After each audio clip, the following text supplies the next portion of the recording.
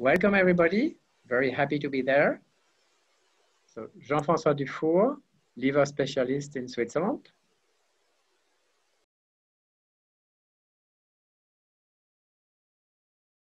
I discovered hepatology at the end of my uh, internal medicine training. And um, it was for me quite interesting to see that through the liver, actually all the different specialties of medicine are there. You see patients with psychiatric disorders, you see patients with metabolic disorders, you see physiology, you see metabolism, you see uh, cancer. So all aspects of internal medicine is there and that's make quite attractive. Another thing which I also liked in hepatology is are the patients.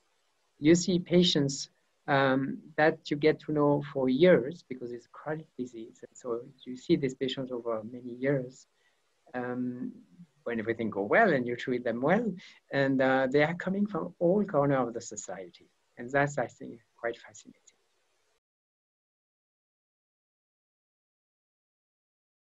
So I uh, trained in uh, Switzerland, in Geneva, in medicine when I got my uh, MD degree.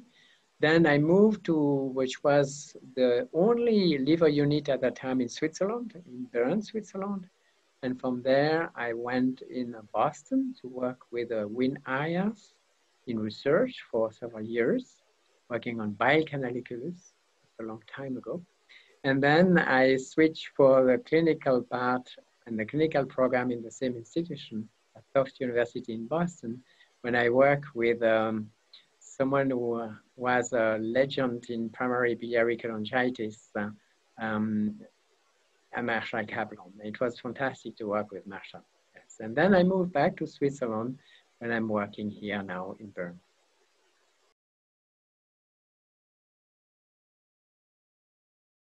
Currently, I'm working on two aspects, but actually also in the intersection of these two aspects. I'm interested in non-alcoholic steatohepatitis and also in hepatocellular carcinoma, and especially then in the risk to develop hepatocellular carcinoma in patients with NASH.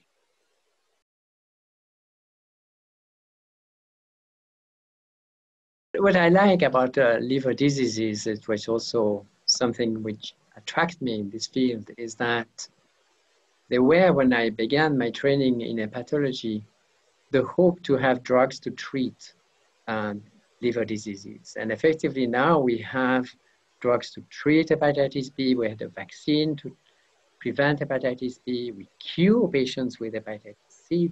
So in a matter of a few decades, the field changed completely. And now we see the same progresses in uh, liver cancer and also probably in the next year in NASH.